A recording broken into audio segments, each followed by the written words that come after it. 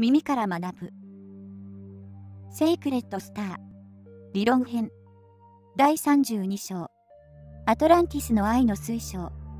バイクリスタ。危機物語。私はアトランティスの女王。クリスタル女王。クリスタと申します。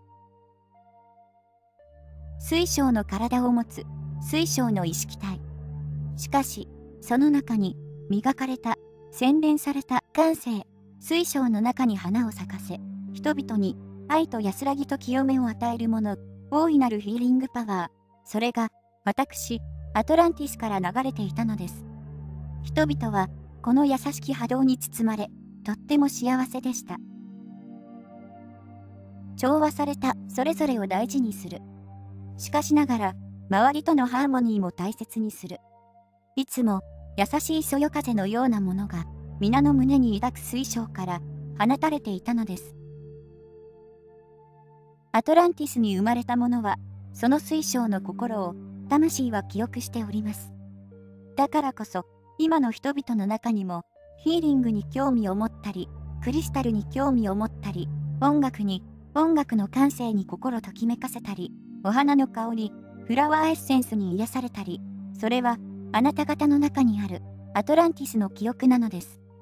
皆、この記憶を呼び覚ませながら人々を癒す。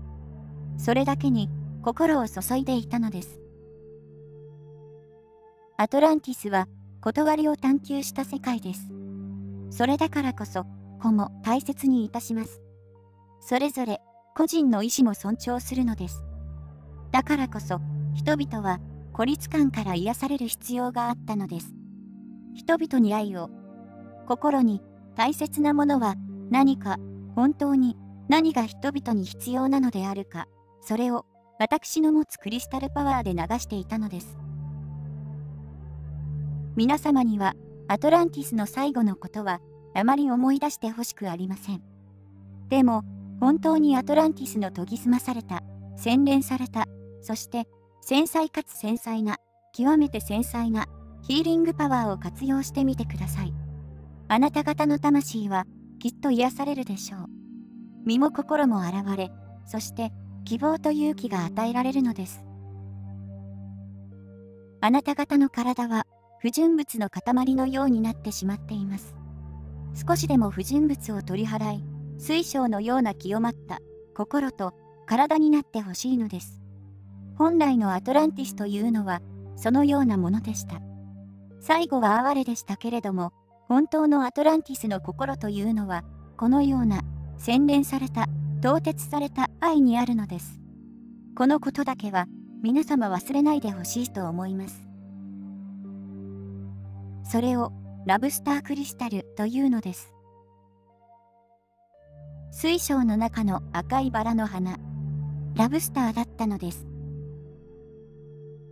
この意識は地球上のあらゆるところに投影されております。皆様思い起こしてみてください。あらゆる文化の中に、歴史の中に、私の心は今も生き続けている。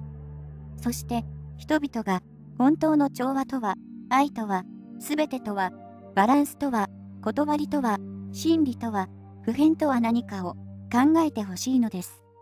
多くの人がそうなってくれればそれでいいのです。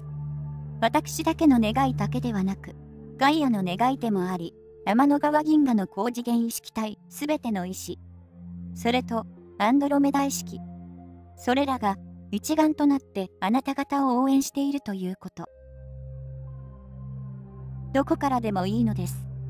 私たちの感性に触れるところを発見してくだされば、身の回りの五感に反応するところ、味や香りや音や感触、光や色や全ての中にアトランティスのエッセンスが流れているということを発見していただければそれでいいと思います。